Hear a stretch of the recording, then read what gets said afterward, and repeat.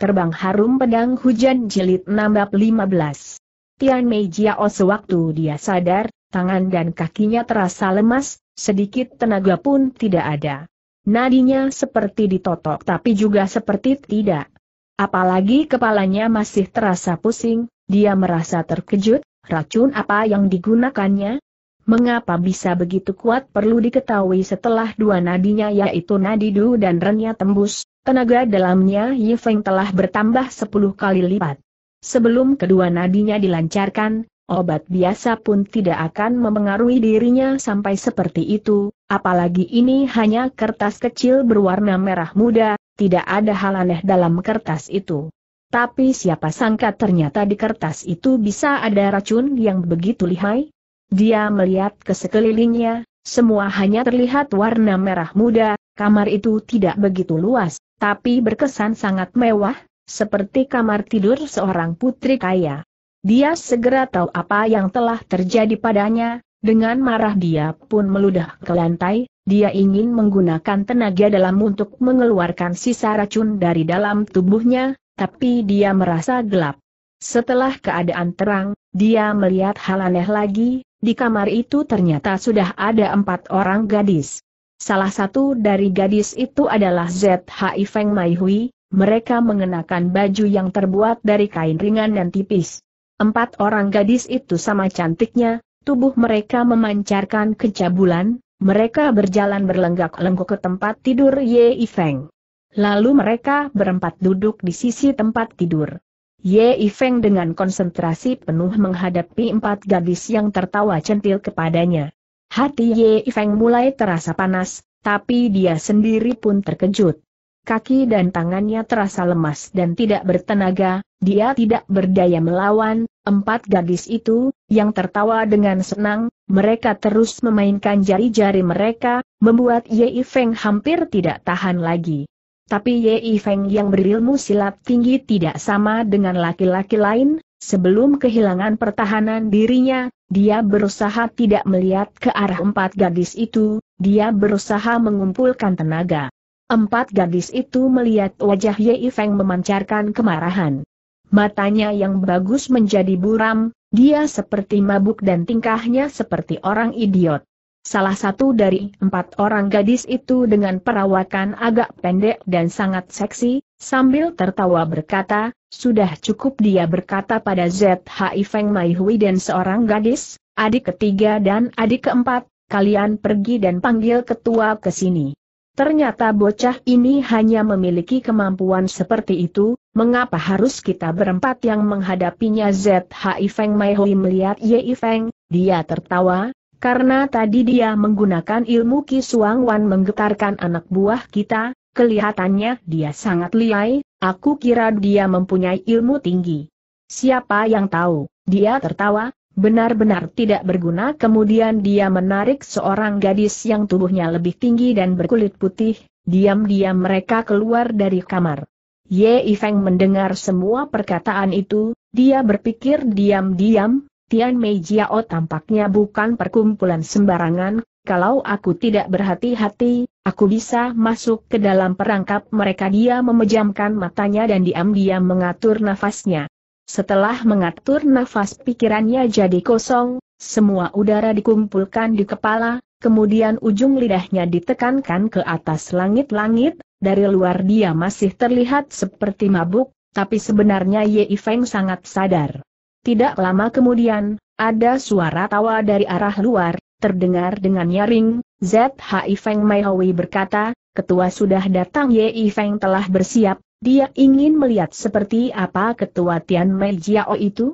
Setelah tirai disibakan, ZHI Feng Mei Hui dengan seorang gadis datang sambil memarah seseorang masuk ke kamar itu, dalam hati dia ingin tertawa, ingin marah tapi juga merasa kecewa.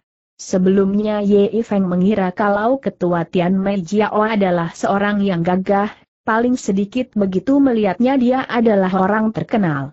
Hampir saja dia memuntahkan nasi yang sudah dimakannya beberapa hari yang lalu.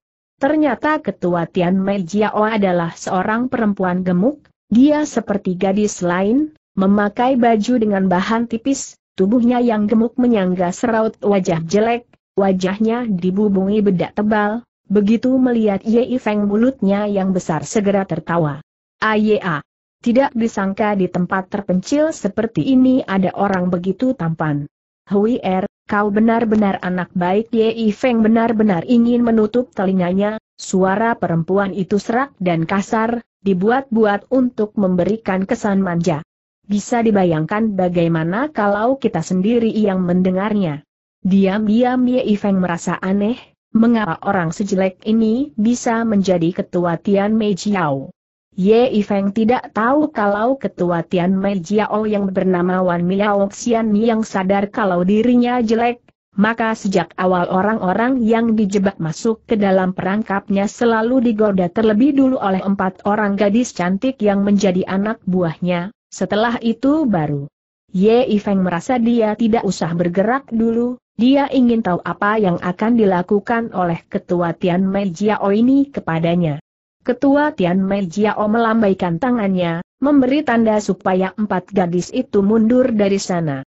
Empat gadis itu segera menutup mulut dan mundur dari sana, alis Ye Feng mulai berkerut dia siap menyerang perempuan jelek itu. Wan Liao Xian yang seperti terburu-buru, dia mendekati tempat tidur Ye Feng, kemudian duduk di sisinya, dia mengeluarkan tangannya yang selebar kipas, mulai mengusap wajah Ye Feng. Diam-diam Ye Feng mengatur nafas, setelah merasa tidak ada gangguan, Perasaan pusing dan perasaan tidak bisa menahan dirinya sudah lenyap tidak berbekas. Sewaktu tangan Wan Miao Xian yang hampir mengenai wajah Ye Feng, kepalanya sudah menyerang perempuan jelek itu, kedua tangan dengan cepat dikeluarkan, dia menotok dua nadi penting ketua Tian Mei Jiao itu. Jurus yang dilakukan Ye Feng sangat cepat, apalagi sewaktu lawan sedang tidak waspada, tenaga yang dikeluarkan 90%, Ye Feng sudah bertekad akan membunuh orang jelek ini dengan telapaknya. Wan Liao Xian yang benar-benar terkejut, dia sama sekali tidak menyangka kalau pemuda yang telah terkena obat biusnya Chanu ZHI ternyata masih bisa menyerangnya, tapi dia pun ternyata punya keahlian yang tidak disangka oleh Ye Feng. Di saat semua berlangsung cepat dan kepepet, tangan yang dikeluarkan untuk mengelus wajah Ye Feng, tiba-tiba berputar setengah lingkaran, kemudian dua jari seperti dua pedang menotok nadi di bawah hidung Ye Feng, angin dari jari berhembus dengan kencang, tampaknya dia mempunyai ilmu hebat. Kalau dengan keadaan seperti ini walaupun bisa menotok dua nadi penting perempuan jelek itu, tapi tubuhnya tetap akan terkena totokan lawan, dan dengan jari sekuat jari Wan Miao Xianyang, dia tetap akan mati karenanya. Apalagi saat ini Ye Feng berada di sarang musuh, kalau dia ditotok, maka tenaganya akan hilang. Dan empat gadis yang ada di luar adalah pesilat tangguh. Bahaya yang dihadapinya tentu akan lebih banyak lagi. Kepandaiannya memang bertambah beberapa kali lipat tapi saat menghadapi musuh dia masih menggunakan ilmu silatnya yang dulu itu pun sudah cukup memadai, tapi sepertinya perempuan jelek ini bukan orang sembarangan.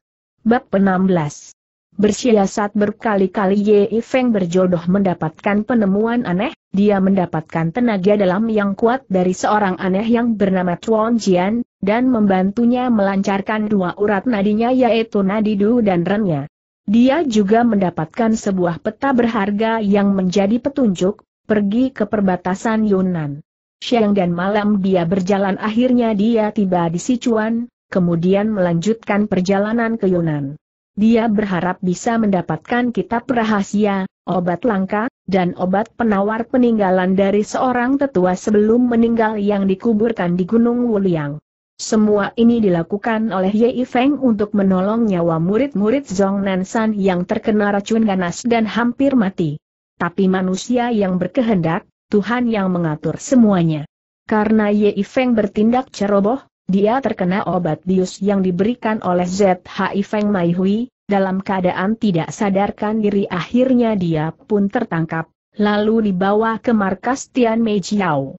Keadaannya sekarang benar-benar sulit, Ye Feng tahu dia tidak akan bisa melukai ketua Tian Mei Jiao yang jelek ini, karena dia sendiri pun akan balas ditotok oleh ketua Tian Mei Jiao itu.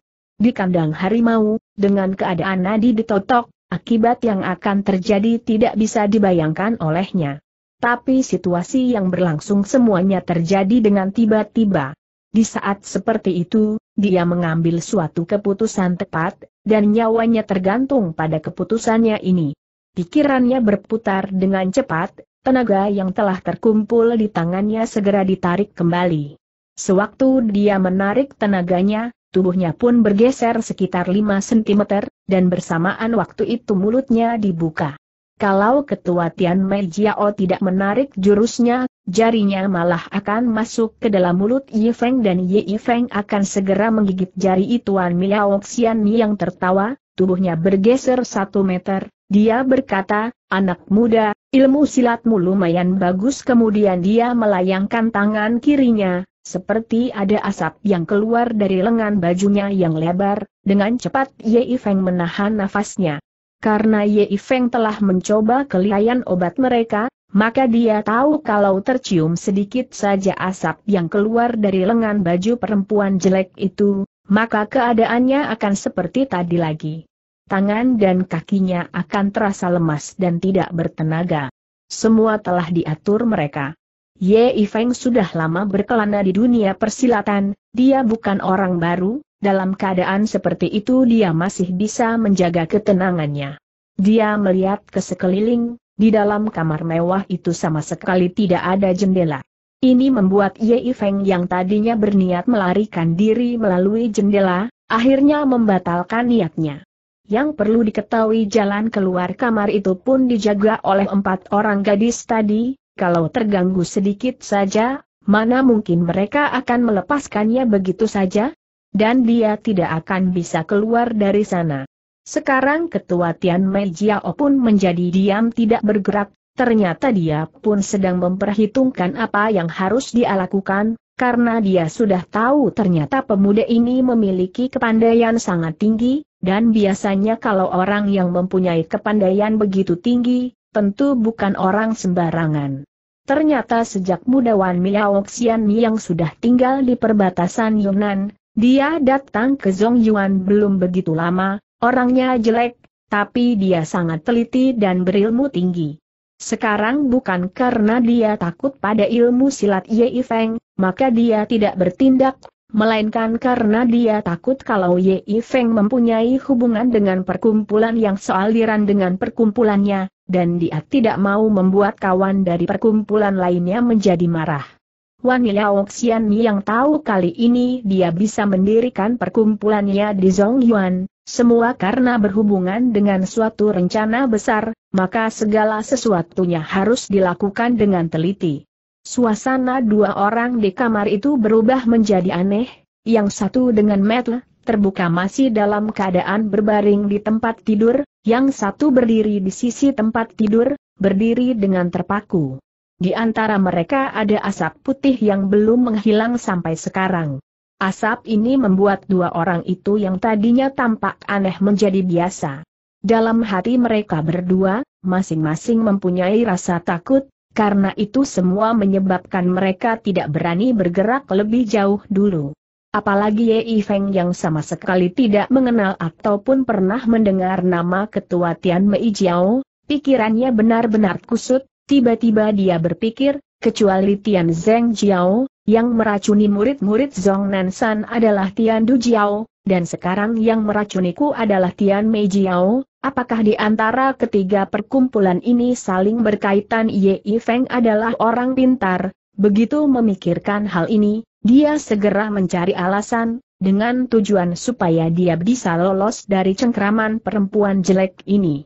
Diam-diam dia berpikir, sekarang posisi lawan kuat sedangkan aku lemah, apalagi aku masih mempunyai urusan penting, aku tidak bisa terus-menerus berdiam di sini dengan perempuan tidak tahu malu ini, tapi dengan kekuatan sendiri tidak mungkin aku bisa menyingkirkan mereka, satu-satunya care adalah, Ketua Tian Mei Jiao melihat anak muda yang masih berbaring membuka matanya dengan lebar, tapi tidak bergerak, juga tidak sampai terkena racun yang dikeluarkan olehnya, dia pun merasa semakin aneh.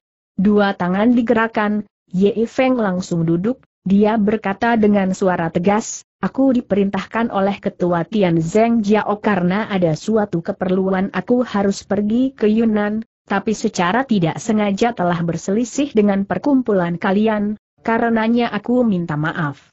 Harap ketua sudi melepaskan aku, kelak kalau aku telah bertemu dengan ketua Tian Zeng Jiao aku akan membalas kebaikan ketua, dia tahu kalau bertindak keras melawan keras, yang akan rugi adalah dirinya, maka dia pun menggunakan akal-akalan ini. Dia memakai nama Tian Zeng Jiao.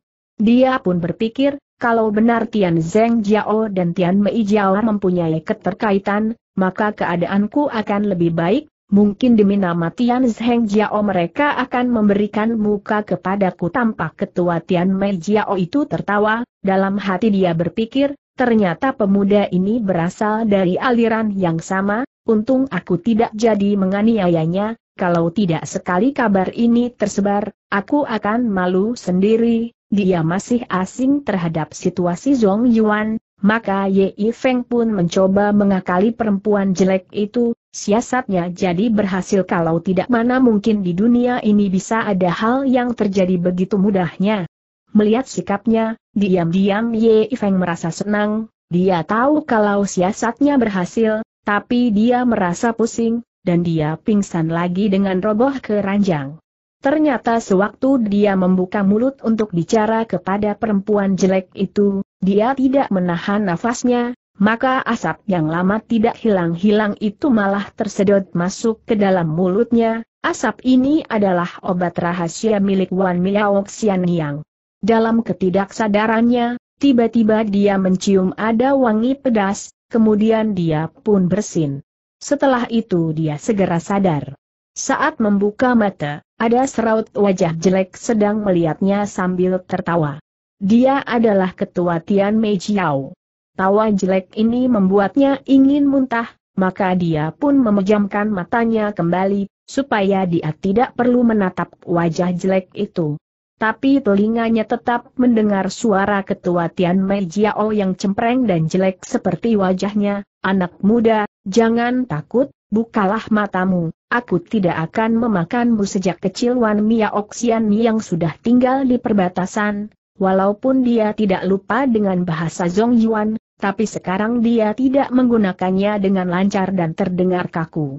Ditambah lagi suaranya seperti suara setan di malam hari, membuat suaranya tidak enak didengar.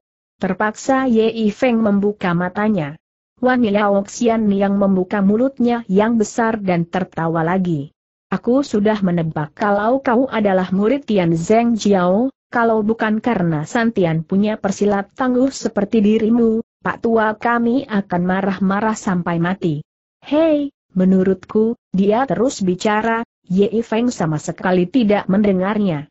Sekarang dia sedang berpikir, Tian Zeng Jiao, Tian Du Jiao, Tian Mei Jiao, ketiga perkumpulan ini satu dengan yang lain ada keterkaitan, maka si jelek ini selalu mengatakan Santian, menurut ceritanya tadi, di antara ketiga perkumpulan ini masih ada seorang pak tua yang posisinya paling tinggi, diakah yang menguasai gerakan ketiga perkumpulan ini? Siapakah pak tua itu dia terus berpikir, tapi mulutnya terus berusaha menjawab pertanyaan ketua Tian Mei Jiao. Pak tua ini pasti mempunyai keinginan serakah, dia ingin membunuh semua pendekar di Zhong Yuan, maka dia pun mendirikan tiga perkumpulan yang tidak sama, diam-diam Ye Feng berpikir dan mengingat dendamnya yang begitu dalam kepada Tian Zheng Jiao, sepertinya niat untuk membalas dendam akan semakin sulit.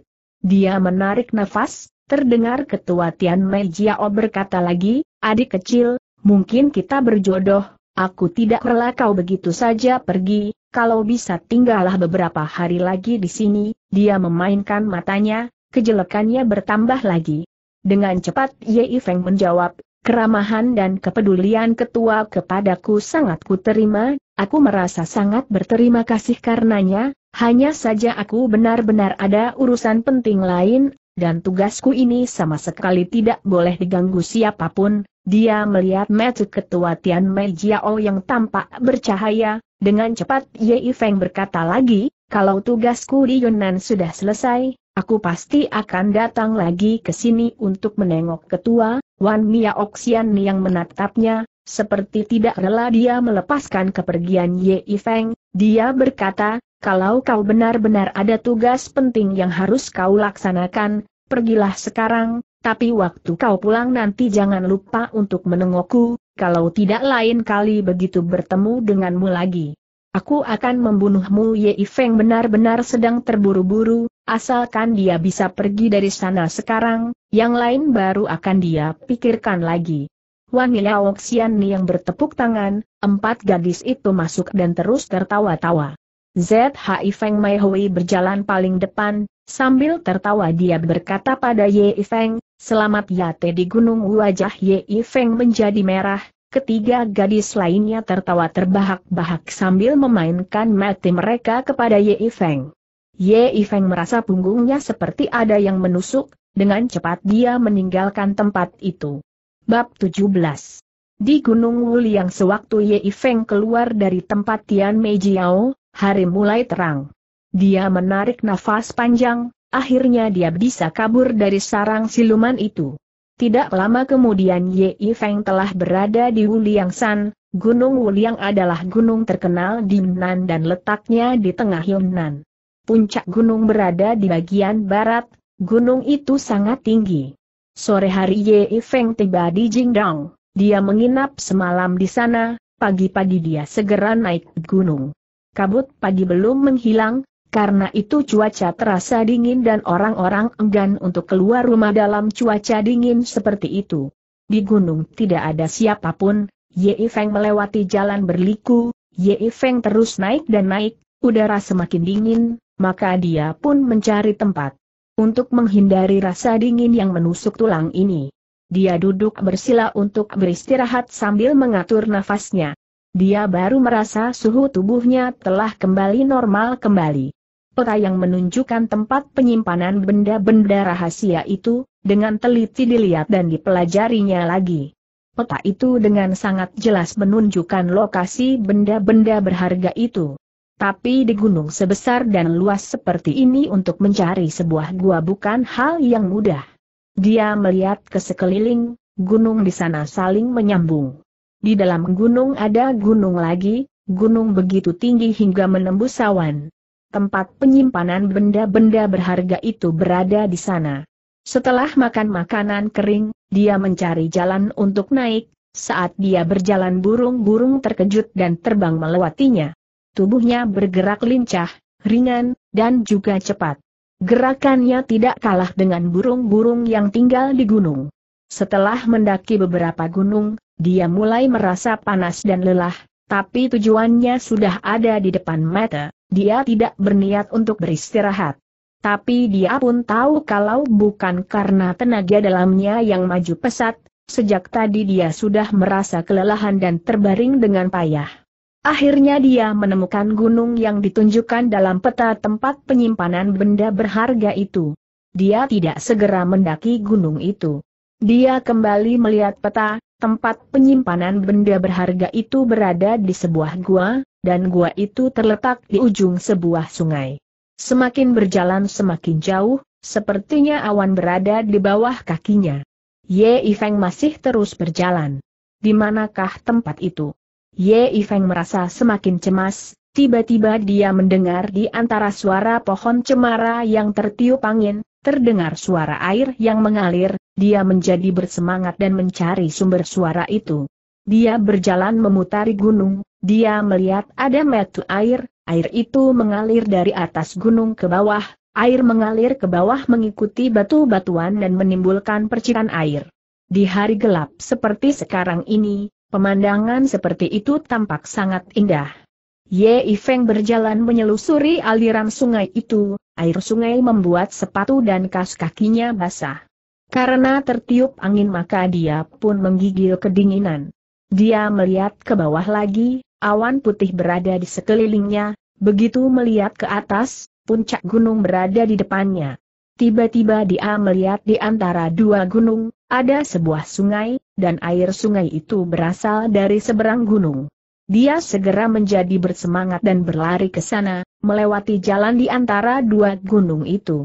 Malam semakin larut, udara terasa semakin dingin, tapi Ye Feng masih bersemangat, karena tempat yang ditunjuk di dalam peta sudah berada di depan matanya. Dia teringat banyak pendekar yang menginginkan benda yang akan dia dapatkan sekarang. Maka jantungnya pun berdebar-debar, dia menambah kecepatan ayunan langkah kakinya. Tapi begitu masuk di antara dua gunung itu, dia malah terpaku. Tempat itu sangat luas, di depan gunung masih ada sebuah air terjun. Air mengalir turun seperti sebuah rantai putih, dan terus mengalir ke bawah mengalir melalui sela gunung dan turun ke bawah lagi. Yang membuat Ye Feng terkejut adalah di sisi air terjun ternyata ada sebuah rumah yang sudah terpasang lampu. Dia berhenti melangkah dan melihat keadaan di sana. Tapi tempat itu dan tempat yang ditunjuk dalam peta sangat pas, artinya benda berharga itu tersimpan di belakang air terjun, tepatnya di sebuah gua. Tapi mengapa di sana bisa ada lampu? Siapa yang tinggal di sana? Apakah barang berharga itu telah diambil oleh orang lain karena masih dalam keadaan kaget dia tidak berani meneruskan ayunan langkah kakinya. Dia tahu orang yang tinggal di tempat itu, kalau bukan untuk menghindari orang yang berniat membalas dendam pasti adalah orang yang sedang mengasingkan diri. Atau mungkin sedang melatih suatu ilmu rahasia. Tapi walau bagaimanapun orang itu pasti pesilat tangguh. Tapi Ye Feng tidak berniat membalikan badan dan pergi dari sana. Tanggung jawab yang dipikulnya sangat berat. Ratusan nyawa murid Zong Nan Pai berada di tangannya. Sekarang dia harus terus maju bukan mundur karena takut. Suara air mengalir masih terdengar, suara angin terdengar jelas. Ditutupi suara itu, dengan cepat dia berlari masuk ke bawah cahaya redup. Ye Feng melihat ke sisi air terjun, ada sebuah rumah yang terbuat dari batu. Ada dua jendela di sisi rumah itu, cahaya lampu tersorot dari jendela. Sekarang Ye Feng bisa melihat cahaya lampu yang menyorot dari jendela itu, cahaya yang menyilaukan, itu bukan lampu biasa. Ditambah lagi atap rumah terbuat dari batu, penuh dengan rotan liar yang merambat ke atas. Angin gunung di malam hari, suara air terjun yang mengalir, kegelapan dan kesepian di sekeliling tempat itu begitu terasa. Hal ini membuat Ye Feng merasa dingin, dan rasa dingin itu menyerang ke punggungnya. Tangannya mengeluarkan keringat dingin. Dia terpaku, diam-diam menyalahkan dirinya, Lunan Ren. Lunan Ren. Mengapa kau jadi begitu penakut? Apakah kau lupa kalau ratusan nyawa murid Zong San dan dendamu semua tergantung padamu? Mengapa kau jadi begitu penakut? Bagaimana kau bisa menghadapi orang lain?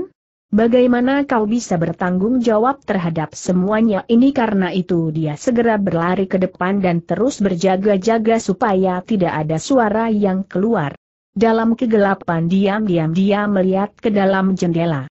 Keadaan di dalam rumah hampir membuatnya berteriak, kedua matanya tidak bergerak melihat keadaan dalam rumah. Rumah yang terbuat dari batu itu terlihat sangat besar, sudut rumah di bagian barat penuh dengan umbi-umbian, fuling, sou, tanaman obat-obatan, juga ada makanan kering untuk manusia. Di bagian utara dan selatan, menumpuk batu-batu perhiasan, dan bebatuan itu memancarkan cahaya yang menyilaukan membuat mata orang sakit saat melihatnya. Bebatuan itu pula yang membuat rumah batu itu menjadi terang benderang. Ye Feng baru mengerti, mengapa cahaya yang keluar dari jendela rumah ini tidak sama dengan cahaya lampu di rumah biasa. Semua ini membuat Ye Feng terkejut. Tapi Ye Feng terkejut juga karena hal lain. Di tengah ruangan duduk dua orang saling berhadapan, orang yang menghadap ke arah timur, kaki kirinya dilipat, kaki kanannya diangkat, dia memakai baju tua yang penuh dengan minyak. Sepertinya sudah beberapa tahun dia tidak mengganti bajunya.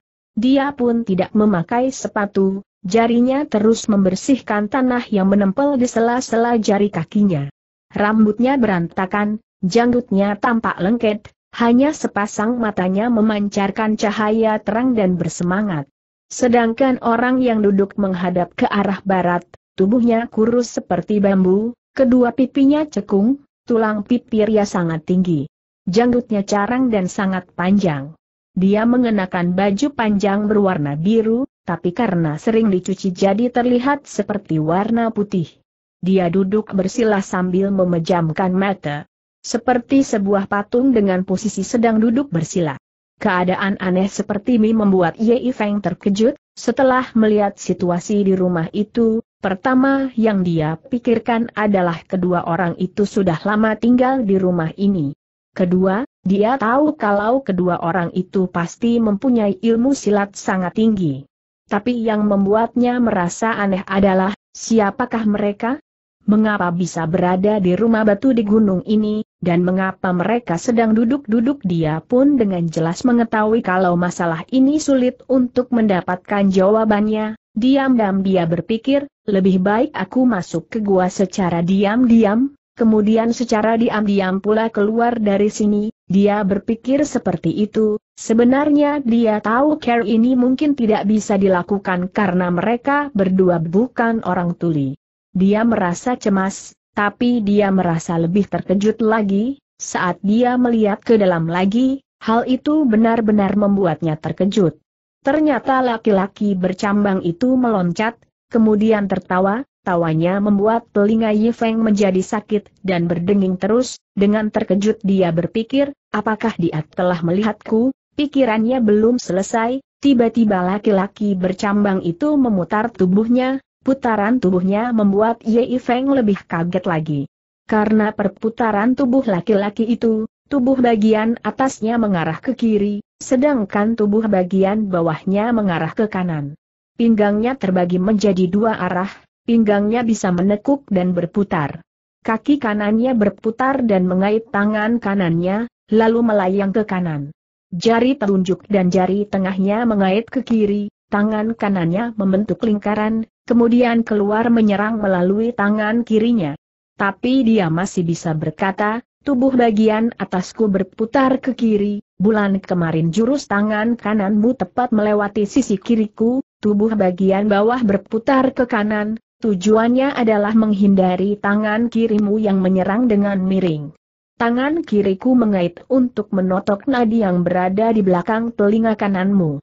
Telapak tangan kananku menyerang keluar, kalau kau menghindar ke kiri, tangan kiriku dengan cepat akan mencegah jalan mundurmu, kalau kau menghindar ke kanan, kaki kananku akan melingkar dan mengaitmu, dan dengan tepat bisa menendang nadi yang ada di ujung kakimu maka kau pun akan terpaksa mundur, waktu itu telapak tanganku akan tepat berada di sana. Dia tertawa terbahak-bahak, kemudian berkata lagi, kalau aku tidak menguasai ilmu Cai Guhengu, membongkar tulang, menekan tulang, aku akan kalah dari jurus yang kau keluarkan bulan kemarin, Ye Feng yang berada di luar jendela, terus meneteskan keringat dingin.